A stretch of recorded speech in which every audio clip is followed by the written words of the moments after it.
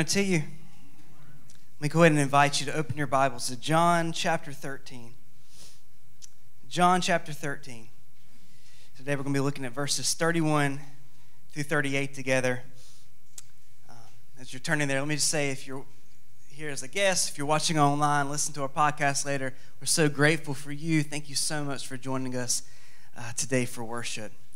Uh, if you're here with me at John chapter 13, let me go ahead and invite you to stand for the reading of God's word.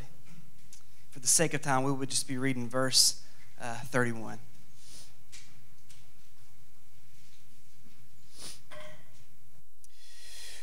Verse 31 says, When he had gone out, Jesus said, Now is the Son of Man glorified, and God is glorified in him. Let's pray together.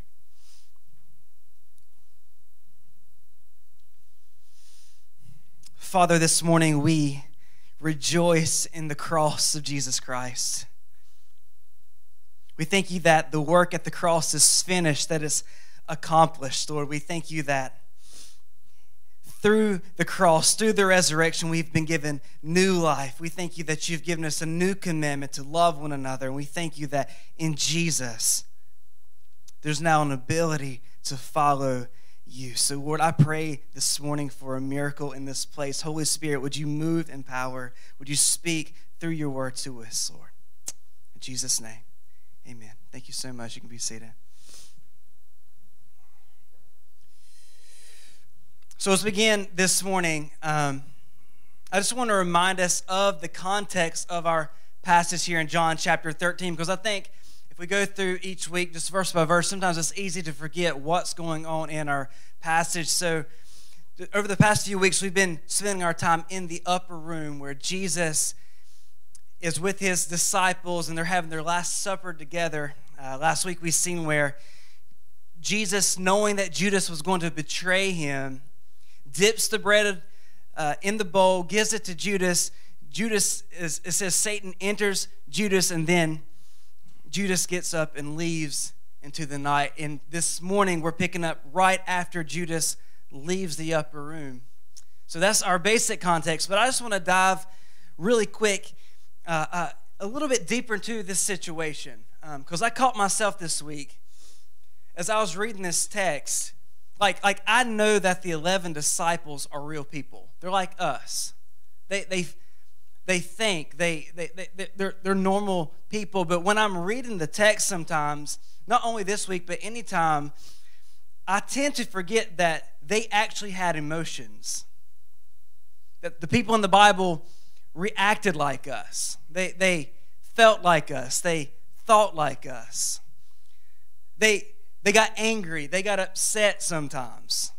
Uh, they were excited, they rejoiced, they had fun, they enjoyed things like we enjoyed things. Uh, they got ticked off sometimes. You get angry sometimes like that?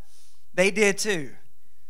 But other things brought them joy. They got depressed. They felt anxiety. They worried. They were caught off guard. They loved and cared. They had real relationships like us that brought all the real intricacies of a relationship. That's what they experienced too.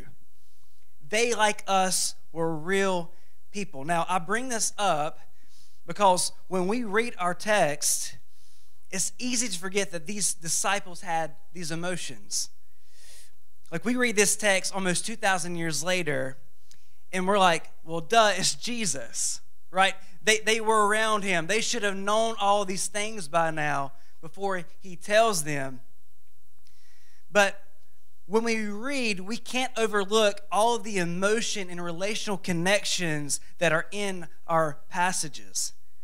We can't forget that these 11 people completely loved Jesus. They, they really lived life with him. They were with him every moment for almost three years. They, they heard his teaching, they seen his miracles firsthand. And in this moment, this man who they gave up their jobs for, who they left their families for, this man, who they sold everything for, who they love so dearly, is telling them at this moment, I'm about to leave, and where I'm going, you can't follow me any longer. Said a different way, Jesus is like, guys, I know you've been following me for the past three years, but where I'm going, you can't follow me any longer. Now, how would you react in that moment? I know how I would react. I would react like the disciples. like, wait, what? Uh, can, can I click pause there, Jesus? Do you remember when I left my dad back on that boat? I dropped the net and just followed you. You remember how I served you alongside of you for, for hours on end? It seems like every single day I was persecuted for you, I was mocked for you. Doesn't that even matter, Jesus? Like, what are we supposed to do then if you're leaving us?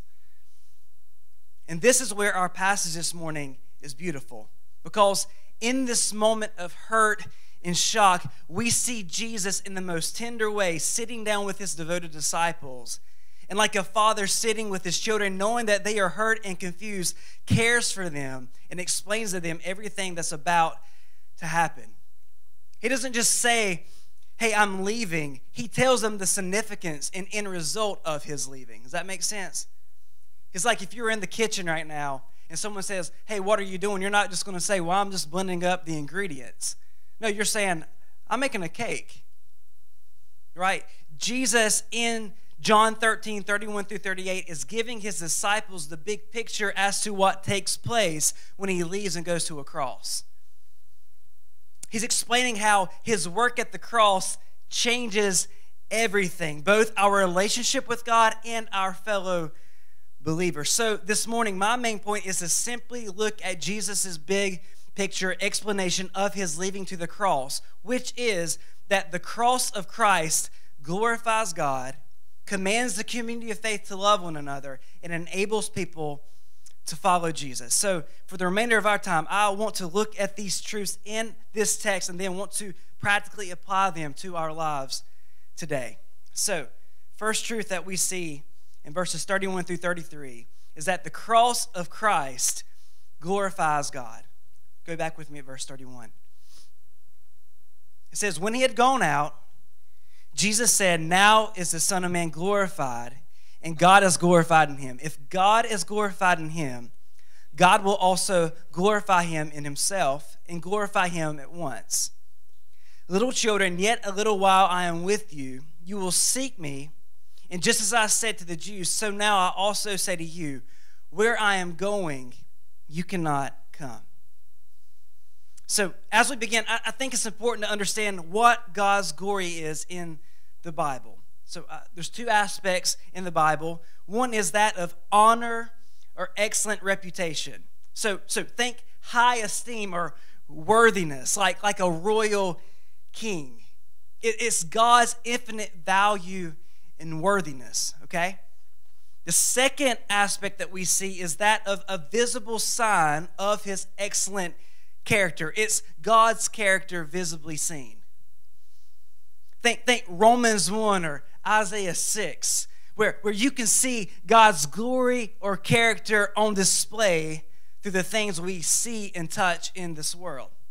So we have two aspects of glory his honor and worthiness, and his character on display through creation. So in verses 31 and 32, both of these aspects of glory are being expressed. Jesus is speaking about both God's honor and worthiness and his holy character on display. Now, in these first two verses, notice the word glorified. Glorified and glorify are there five times in these two verses. And two of these times are written in the past tense, as if Jesus is saying, It has already taken place. I have already been glorified. Right when Judas leaves the scene, notice the word there now. Now, at this moment, when Judas leaves to do what he needs to do, the ball of the work of redemption is beginning to roll, and the Son of Man is glorified.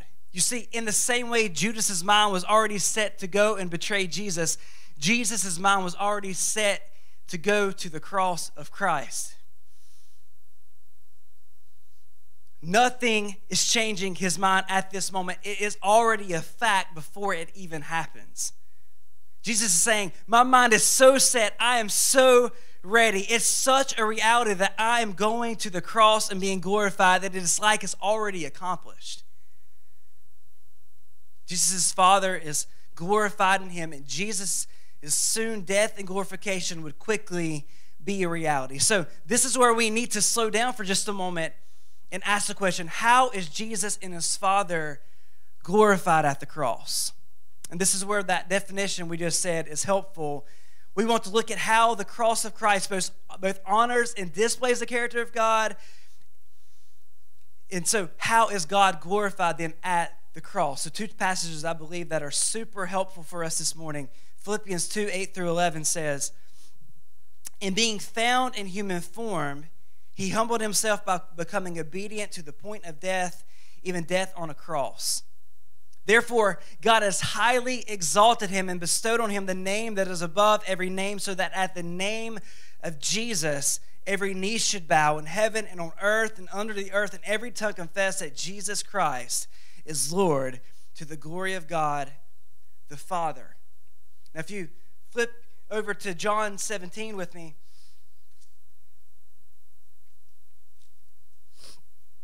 Jesus here praying the high priestly prayer. If you go down to verse 4 with me, it says, I glorified you on earth, having accomplished the work that you gave me to do, and now, Father, glorify me in your own presence with the glory that I had with you before the world existed. So, to answer our question, about the cross, we first must realize that if you want to see the glory of God, you must first see Jesus. 2 Corinthians 4 says that we see the glory of God in the face of Jesus Christ. Jesus is the glory of God. He's the exact imprint of God's holy nature because Jesus is God Himself. He perfectly reveals the excellent character of God. When we see Jesus, listen, we see God. Now let's talk about the cross. The cross where Jesus, God in flesh, took on the weight of sin in history, both the holy wrath of God, and died in our place. The cross where the fury of sin is brought to a complete stop. The cross where God's just punishment is paid in full and is satisfied cross where the innocent Lamb of God was slain for the sins of the world. Carter and Wredberg says, There is no place we can look to better understand who God is than at the cross. There's no place we can look and more clearly recognize that He is worthy of all honor and glory than at the cross. The cross is the highest moment of God's revelation to mankind. In the cross, we learn more about God's excellence than in any other moment in history. In the death of Jesus, we see God's holiness and love, righteousness and mercy, justice and grace, sovereignty and humility, wisdom and patience. If we want to understand who God is, we must study the cross. So we sing every week about the cross. I'll never forget an internship at Parkwood. One of the simple lessons I learned was that every single week when I plan services, no matter what the theme is, no matter what the topic is, we must take a trip to Mount Calvary. Must. The cross is central. The cross is our hope. The cross is where we go to when life is so challenging and so difficult. We need to be reminded of God's love and grace for us every single day. The cross is the centrality of our heart. That's where we most clearly can behold the glory of God.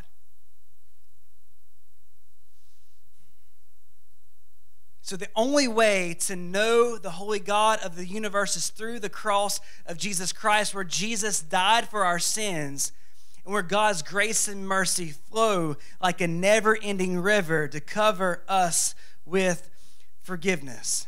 So, here's our answer How is God glorified at the cross? At the cross, Jesus, the perfect Son, reveals his Father's holy character and satisfies all his perfect and righteous demands through his death. And because of this, God the Father seals the glorification of the Son by raising him from the dead, ascending him into heaven, and crowning him the King above all kings.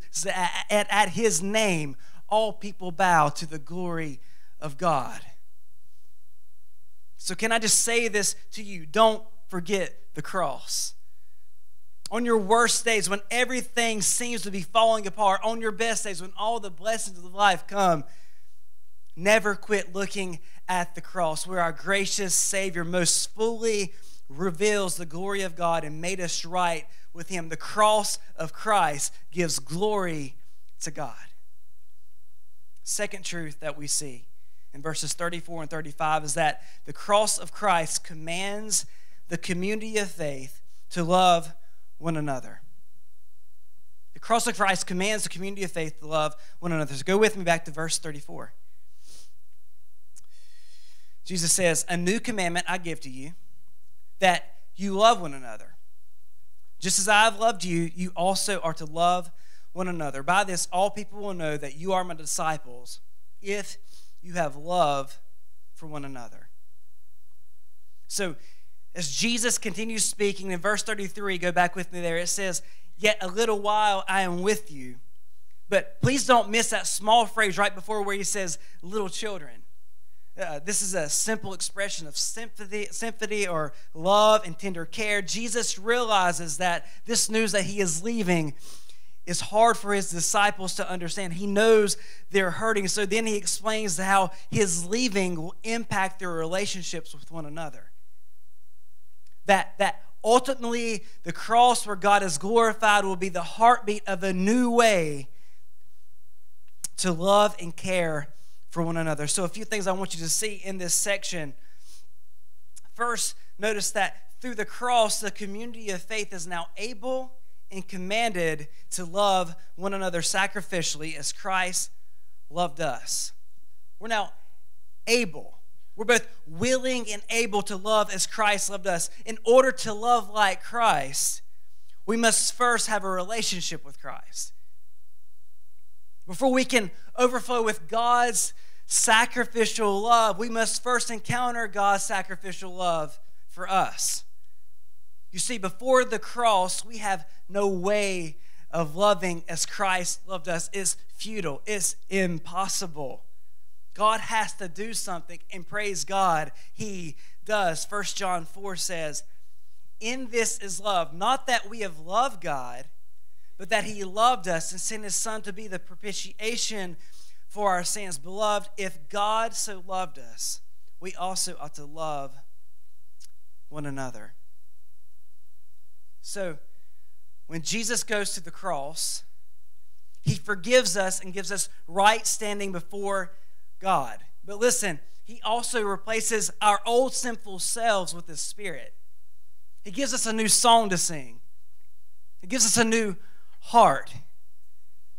He places his love inside of us, and this is how we respond. We respond by beaming out God's love to those around us. God's love for us allows us and compels us to love others in the same way. You see, Jesus isn't actually leaving his disciples alone. No, he is leaving them together. And that's a profound thought. He's leaving them together. Now, this implies a few things, doesn't it? One, that, that our loving our fellow brother and sister is a reflection or representation of Jesus and God's holy character. Secondly, it implies that we as God's people need one another. We need one another. I need you, and you need me. We need each other. And I'm reminded of this. So last night, uh, we're getting ready for bed, and I cut on Facebook. I'm not a big scroller. I just go for the first three posts. So if you're past my three posts, I don't see your post.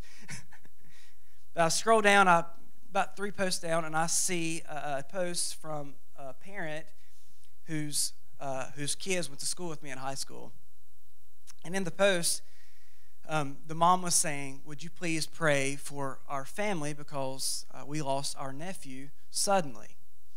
Now, I know their nephew. I went to school with him. He was a few years younger than me. So I just went on his name to make sure that was the same guy, and it was. And when I went on there, I started seeing what actually happened to this guy I went to school with. It says that he committed suicide, and then sudden he has a kid. He was married. Now, I say that because when my other friends posted, and I thought it was so profound, we don't know what's going on in each other's lives. We don't know what's going on in our minds. Mental health is a thing. You need to carry my burdens. I need to carry your burdens. Who knows what would have happened if my friend in school would have simply reached out and asked for help?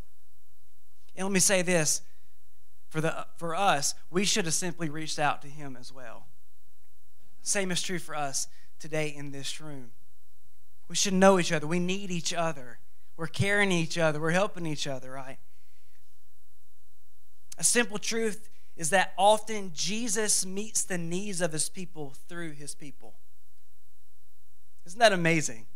Like, like we have the honor to reflect God's love to one another to, to sacrificially love one another, to care for one another, to hang out together, to invite each other to our homes, to help carry each other's burdens. The list goes on and on. The point is this that Jesus commands his people through the authority of the cross to love one another as he has loved us.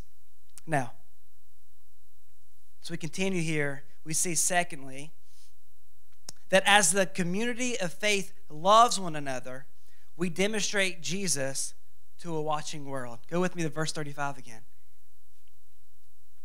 Jesus says, By this all people will know that you're my disciples if you have love for one another.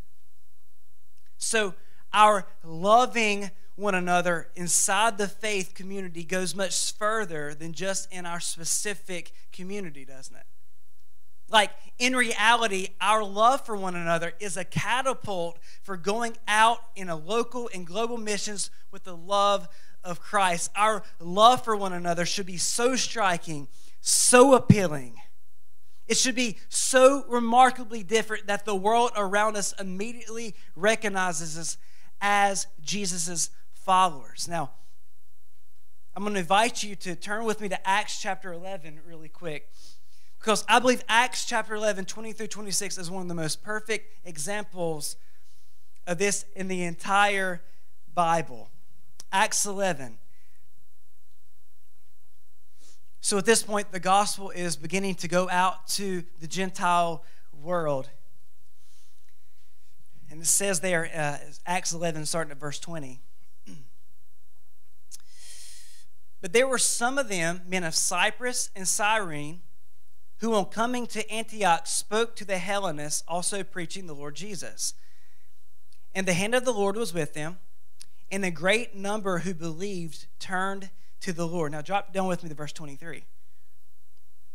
So when he came and saw the grace of God, he was glad and he exhorted them all to remain faithful to the Lord with steadfast purpose. 25. So Barnabas went to Tarsus to look for Saul. And when he had found him, he brought him to Antioch for a whole year. They met with the church, taught a great many people. And if you have a pen, I would encourage you to underline that last line. And in Antioch, the disciples were first called Christians. Now, I'm just going to spend a few more moments on this, but notice that while the Lord is growing and multiplying this community of believers, and as they worship together and as they live life together, notice who calls them Christians. This is profound. Notice who calls them Christians. It's not the community of faith who's calling themselves Christians, it's the watching world around them who calls them Christians that their watching world was so compelled at this community in Antioch that when they looked at them, they saw what they were doing and they couldn't help but to say, It's like Jesus living among us.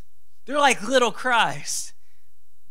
You know, brothers and sisters, my prayer for this is true for us this morning that our faith community would be so wrapped up in the love of God, so focused on loving one another as Christ has loved us, that the watching world around us is like, that's like Jesus living among us. They're like little Christ.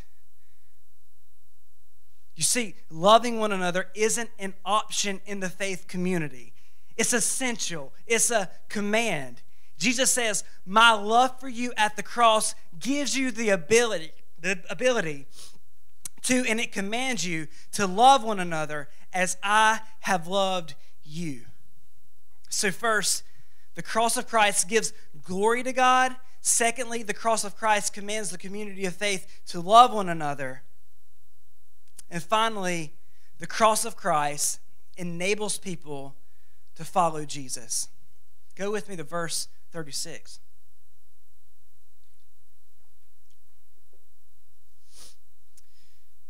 Simon Peter said to him, Lord, where are you going? Jesus answered him, Where I'm going, you cannot follow me now, but you will follow afterward. Peter said to him, Lord, why can I not follow you now? I will lay down my life for you.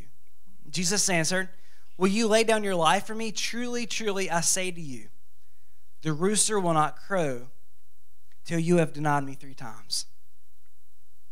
So, after Jesus explains his leaving and going to the cross and how that's going to bring glory to God and will give a new command of loving one another, we see Peter responding how we would respond in that moment. He's like, okay, yeah, I got it. You're going to be glorified. You want us to love each, each other, but like, where are you going again?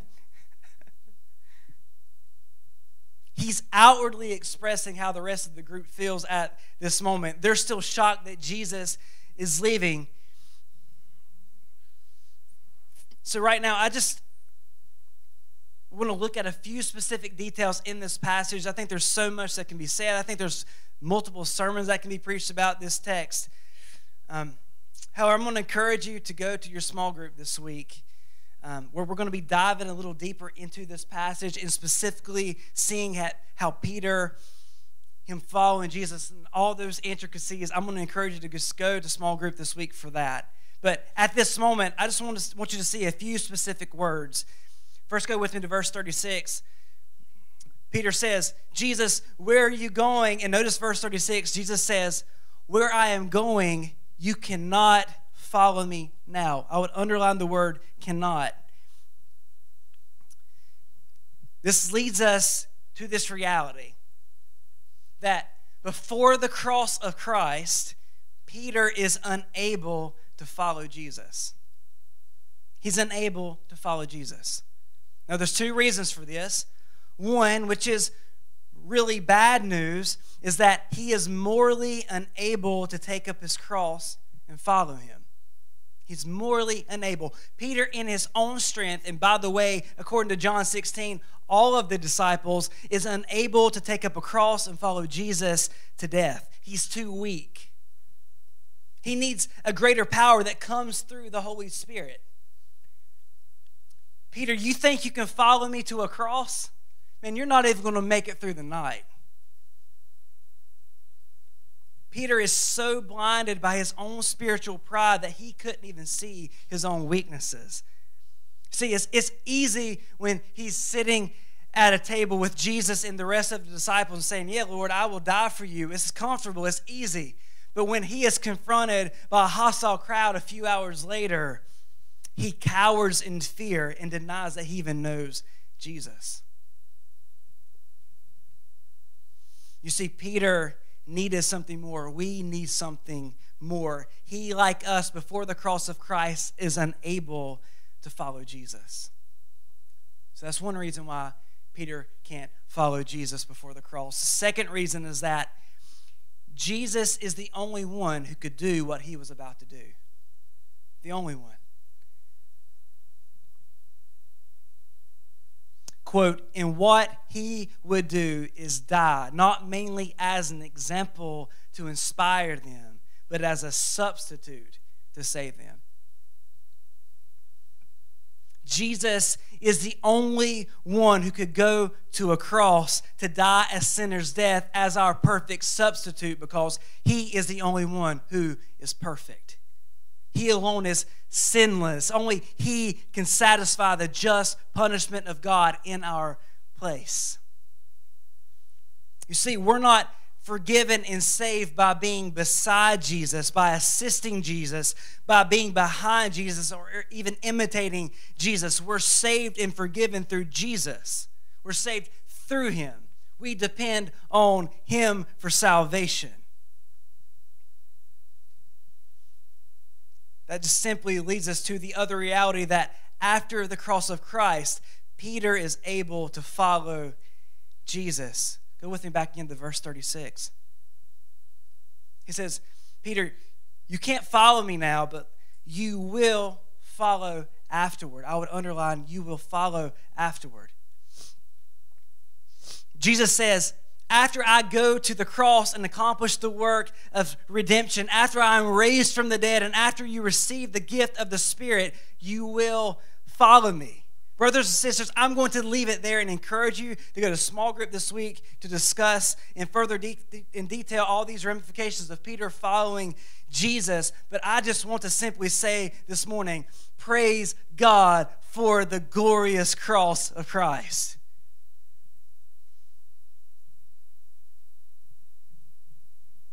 We, like Peter, who was once far away from God and unable to follow Jesus have now, because of the glorious cross of Christ, been brought near to the throne of grace.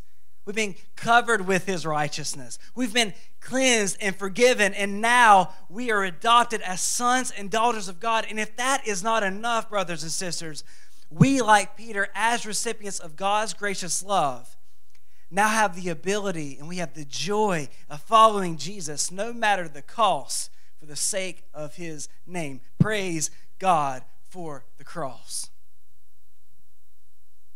So what?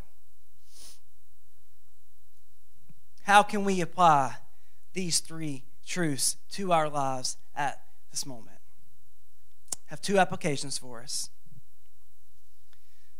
First is let's look to the cross where God's glory is on full display and receive forgiveness. Let's look to the cross where God's glory is on display and receive forgiveness. Brothers and sisters, I believe God's word. And when the word goes out, it accomplishes exactly what He intends for it to accomplish. And I believe the Spirit is doing things in this place that we can never imagine. I don't want to waste this moment where we've been rejoicing in the cross of Christ without extending my plea for anyone in this room or watching online to look to Christ and find forgiveness for your sins.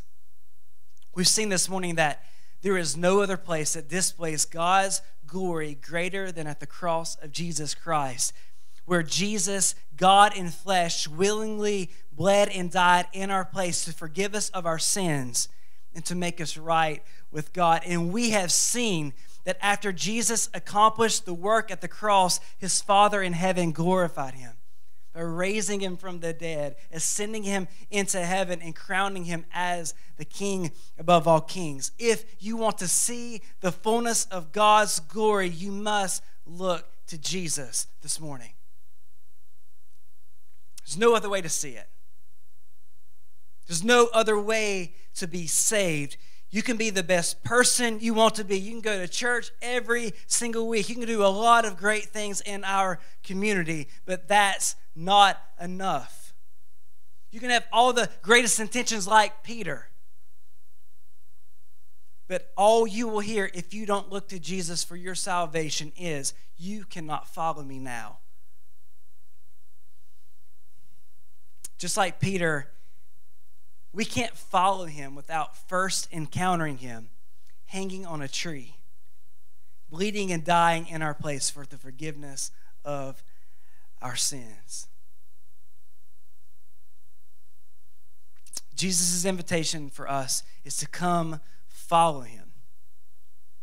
And that's simple to repent of your sins, to turn away from them. Have nothing to do with your sins any longer and pull, put your full trust and weight on Jesus for your salvation. I just encourage you don't wait another day. Don't wait another moment. Look and see the glory of God in the face of Jesus Christ, who went to a shameful cross to die for you, who rose from the grave to completely conquer sin and death forever. Receive that forgiveness today. Second application for us this is for the body of Christ. Within our faith community, let us pursue one another in sacrificial love for the sake of the world around us. In our faith community, let us pursue one another in sacrificial love for the sake of the world around us. Let me invite you to turn to 1 John chapter 3 with me.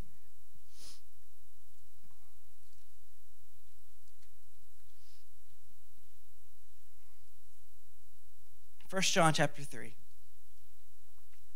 We're going to look at verses 16 through 18.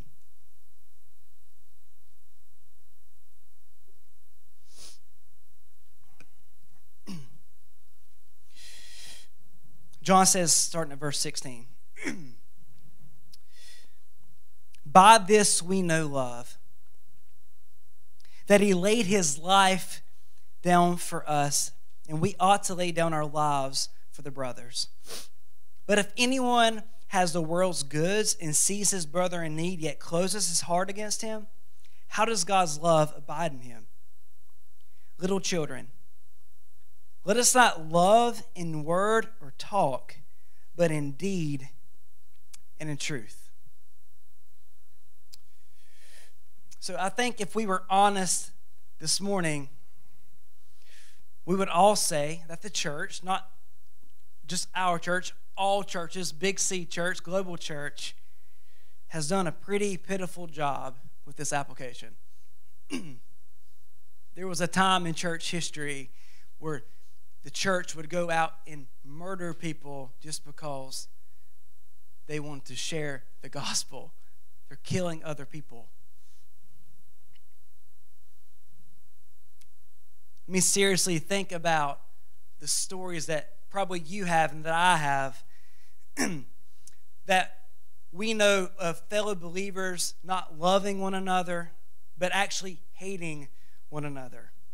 How many churches do we know have split up because of the color of a floor? Or, or this is a good one the style of music we play and sing. Or how about the cemetery ministry? Or some other little ministry that really doesn't matter, but churches split up all the time of this stuff.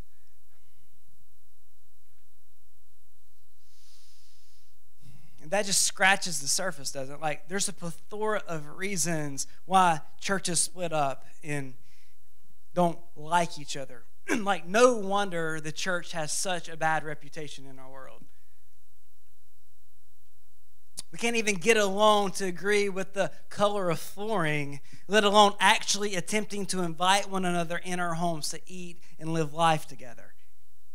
Like, can I just encourage us this morning to stop making excuses for why we can't love our fellow believer and simply let's just start doing it?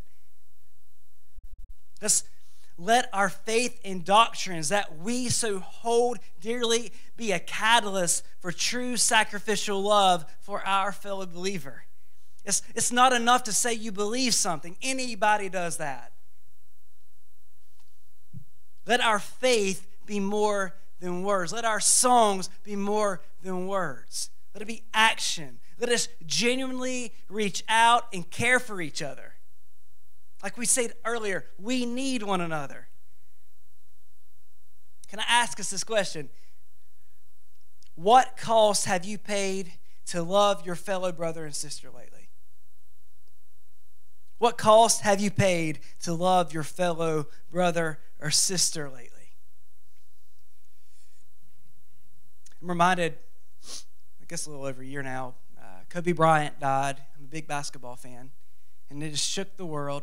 And so inside the NBA had this special uh, presentation right after he passed away, and it was at the Staples Center. And, and so they're interviewing all these players who knew Kobe personally and just was asking them how they felt through this time. And the, the, all of them were great. All the interviews were great. But the specific one that just made headlines was the one with Shaquille O'Neal because Shaq was a teammate for Kobe for a lot of years and they won a lot of championships together. So, so they're asking Shaq, well, how do you feel? And just starts weeping and he says, man, I just wish I would have took more time to reach out to him. Like, I don't know when the last time I texted him before he passed away. I pray that's not said about the community of believers here at this church. Can I encourage you, if you aren't already, reach out with phone. Just call somebody sometimes. Love one another. Spend life together. When's the last time you took a church member out for coffee? Or the last time your family and another family of the church did something together? Was the last time you had someone from the church over to your house just to have dinner? When's the last time you extended a hand to a person in our church who was in need or prayed for or was with a fellow believer who needed a shoulder to cry on? When's the last time you cared for those or just reached out to those in your small group or it simply just went to a small group to live life with people? You see, loving one another doesn't have to be complicated. It's not complicated, but listen, it is costly. It is costly. To see other people grow in the love of Jesus costs you something. To truly live out this command to love each other as Christ loved us is costly. It might cost you money. It might cost you gas or time or an event that you had on your calendar. The point is is that for us to take steps away from this American ideology of individualism, we have to purposely begin pursuing situations where we get out of our little worlds and begin getting into other people's worlds and letting people into our world. Listen, the world has enough hate groups. Amen? Has enough hate groups. That category is full.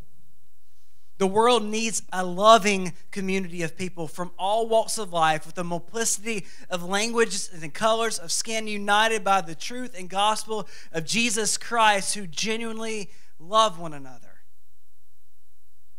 Oh, church, as I said a few minutes ago, my prayer for our local congregation is that we would look just like the church in Antioch.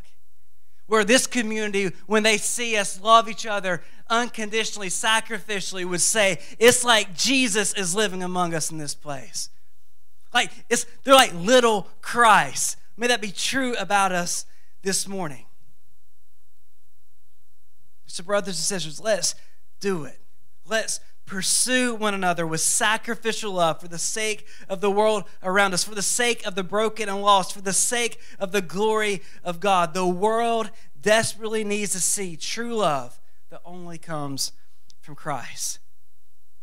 So, as I close, as God's people, let's love one another as Christ loved us so that those in the world can see and believe in Jesus' redeeming love that was displayed at the cross. Amen. Let's pray.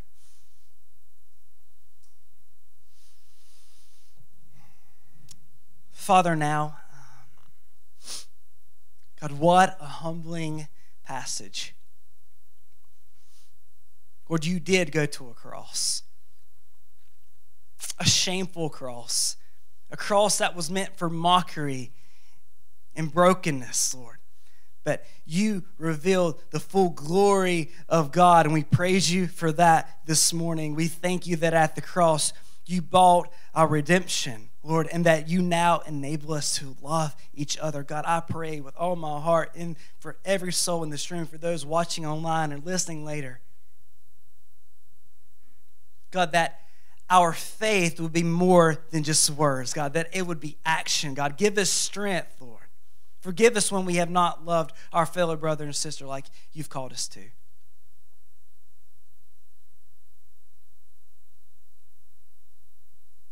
Father, I just want to pray for the soul in the room, soul online who might not know you. God, would you open their eyes to see Christ Jesus hanging on a tree for the forgiveness of their sin, who's now resurrected from the dead? And oh God, would you save souls today? Oh God, move in this place. Or may we respond by loving sacrificially our brothers and sisters all around us for the sake of your name in this world, Lord Jesus. It's in your name we pray. Amen. Would you stand with us?